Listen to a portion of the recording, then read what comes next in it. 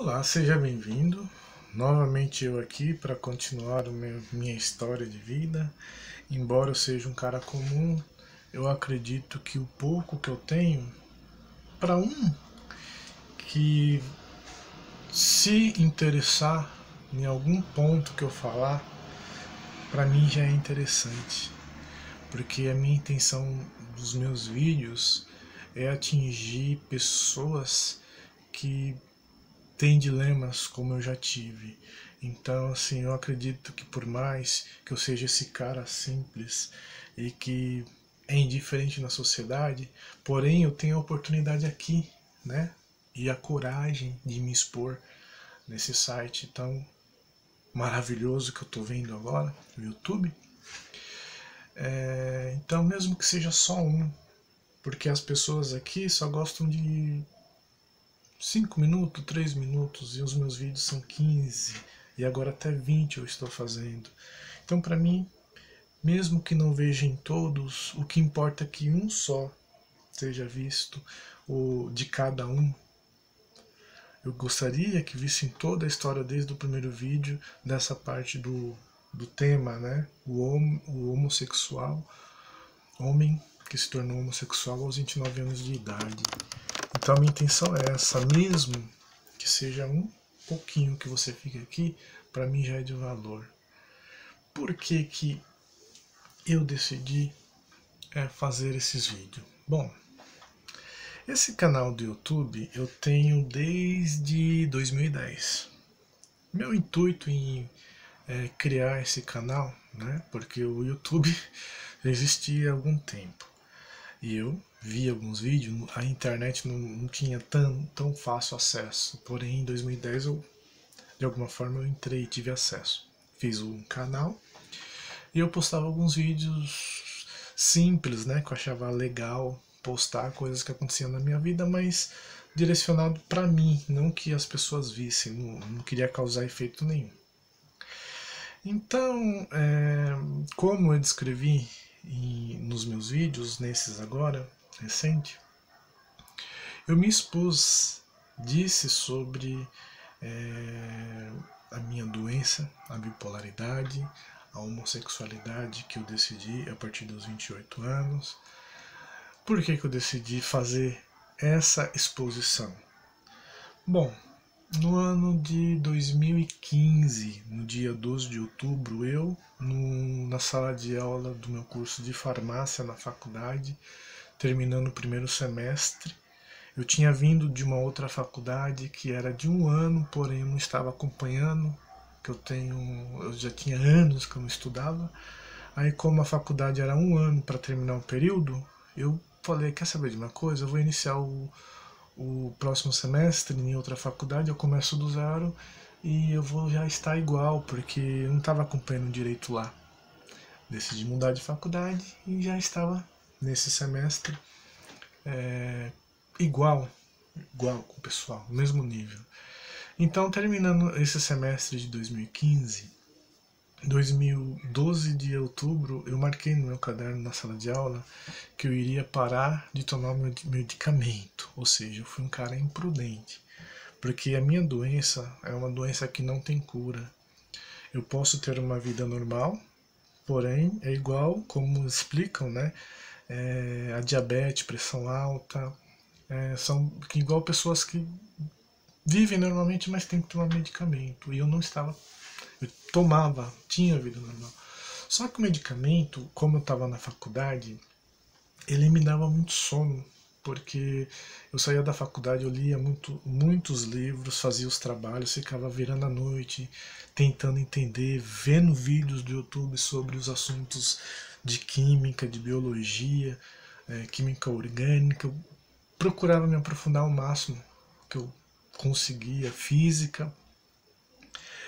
Então eu estava me dedicando. Como a, a, eu estava tendo muito cansaço, sono, eu culpei o remédio, eu decidi parar de tomar. Passei né, boas notas o primeiro semestre nessa nova universidade. Fui pra, para o segundo estava ótimo. Quando, por volta do mês de maio, é, quase para fechar o semestre, eu com notas excelentes, vai e entro em crise. Por quê? Por causa da minha imprudência. Ou seja, eu fiquei o mês de outubro, novembro, dezembro, janeiro, fevereiro, março, abril, maio, oito meses bem. Eu achava. Então, resultado: internação, depressão. E recentemente, o que me ajudou a recuperar?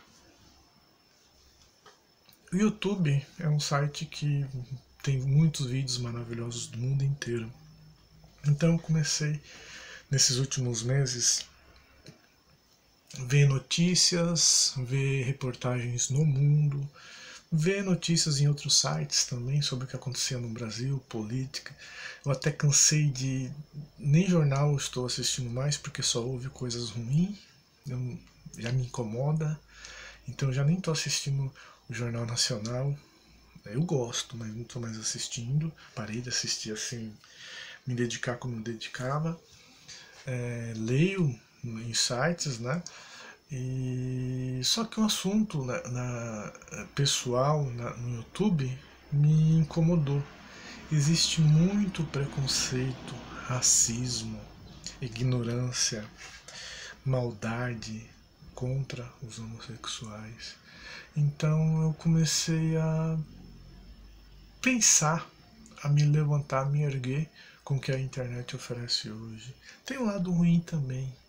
A internet às vezes acaba prendendo a pessoa e a atenção é, não sai dali, você não faz atividades, por exemplo, eu que estou na, numa fase saindo mais da depressão, eu poderia estar fazendo outras coisas. E a internet ela prende um pouco. Porém, por outro lado, antigamente o cara deprimido ele não tinha essa ferramenta para poder se levantar, ver o mundo. Então eu decidi, né, com o que eu estou vendo, mostrar que não é bem assim. A homossexualidade não é uma brincadeira, é uma coisa séria.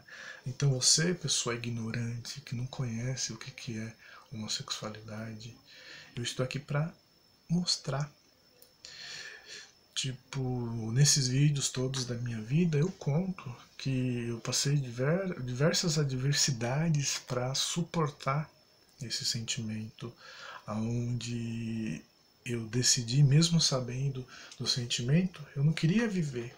Porém, eu me de, deparei com doença, com a, com a bipolaridade, fui internado, perdi, depois conquistei, perdi de novo. Então, foi difícil. E um ponto importante que eu não falei nos vídeos anteriores, inclusive eu mencionei que nesse vídeo eu contaria a volta ao trabalho, né? Do ano de 2007, que foi quando eu voltei para o trabalho. É, eu vou ter que parar, deixar para um vídeo mais à frente. Por quê? Porque, olha eu arrumando o vídeo, desculpem, tá caindo aqui. Então, é, um fato importante eu não consegui falar, que é sobre a religião.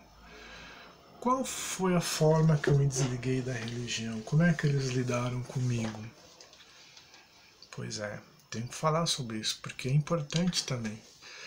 Primeiro, eu acho que deveria é, existir uma lei que os responsáveis pelas religiões no geral tivessem uma licença para poder se autodenominar responsável pela religião. Não que o governo se intrometesse lá dentro para fazer os trâmites para as pessoas se levantarem lá. Não, não é isso. Mas quando lá dentro se identificar como tal, esses fazerem um curso para poder ter licença para exercer a função que ele tem como líder da igreja, porque ele está liderando muitas pessoas. Então, muitos religiosos, antes de querer consertar os homossexuais fora da religião, eles têm que entender que lá dentro tem pessoas que, assim como eu, que antes estava na religião, eu não queria viver a homossexualidade, porém me doía quando falavam de forma agressiva contra os homossexuais, contra essas atitudes. é, me doía quando eu tentava me aproximar é, de alguém para falar sobre o assunto, tentava de alguma forma entrar no assunto e de, de forma ríspida ou cômica desviavam a atenção sobre o assunto. Então, assim, essa licença que eu falo seria licença para poder, é, diante da sociedade, que a religião faz parte da sociedade, saberem lidar. Primeiro com os de lá de dentro, já que eles querem é, se envolver nesse assunto da homossexualidade, cuide dos de lá de dentro primeiro, porque tem muitos lá dentro como eu. Infelizmente, é, eu tive a minha doença duas vezes, passei pelo que eu passei e finalmente eu decidi viver a homossexualidade. Então, é, eu acho que deveria ter algo desse tipo. Eu tenho uma opinião sobre isso. Então, o que aconteceu? Primeiro eu comecei a falar com meus amigos, os jovens, né, mulheres, meninas, é, um colega, falei que eu viveria homossexualidade, né, só que até então eu ainda não tinha praticado nada, eu tinha 28 anos ainda, eu estava começando a ir para a igreja, ou seja, olha só, eu não estava indo, aí do nada eles veem o Paulo lá, Aí o Paulo comenta que vai viver homossexualidade, porém ele não está praticando o ato ainda. É, comento que escrevi um livro, como eu disse no vídeo anterior. Aí, em vez de tentarem ajudar para que eu ficasse lá, é, alguns maiores, né, líderes, por exemplo, em vez de tentar falar, Paulo, o que, que eu posso fazer para você continuar aqui? Nós podemos te ajudar simplesmente falou para os jovens pararem de ter amizade comigo, que eu era má companhia. Olha só como agiram comigo. É, alguns falaram que eu estava com é, querendo tirar membros de lá de dentro, com apostasia, por exemplo. Apostasia é quem vai contra, ataca a religião. Então olha só o erro. Aí é, o certo seria ter na religião que eu era uma desassociação. Era na religião que eu era. Desassociação seria o que?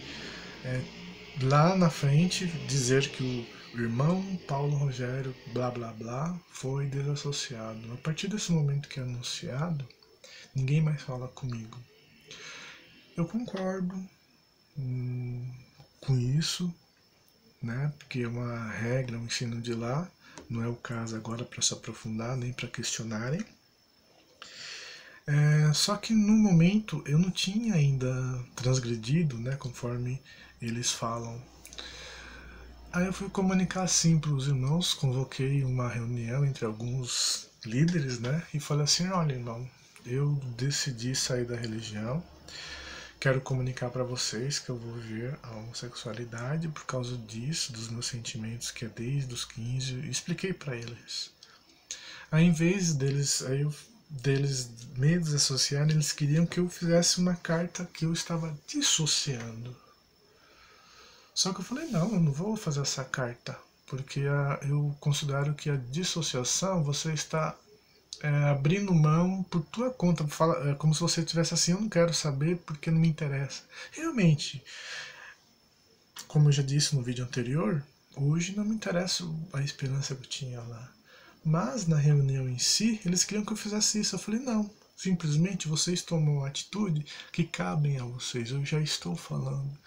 Então, eu só queria explicar como eu me desliguei da religião. Foi anunciado depois que eu tinha saído da religião, fui várias vezes ainda, algumas vezes, mas como eu tinha consciência que é, o que eu pretendia para minha vida não se encaixava ali, não tinha por que eu continuar.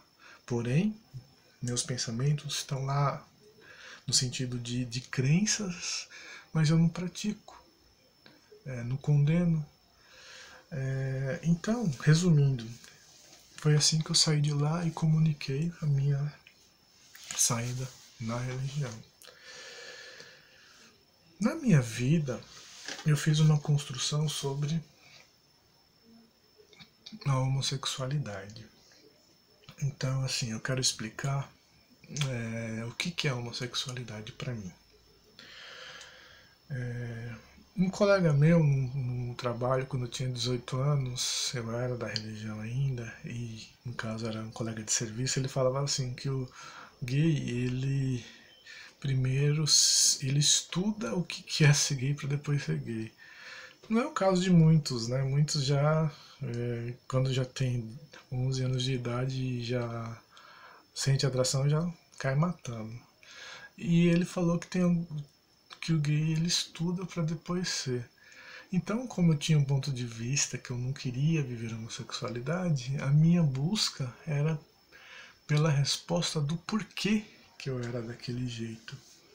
Então, é, qual foi a minha conclusão, os resultados dos meus estudos sobre isso?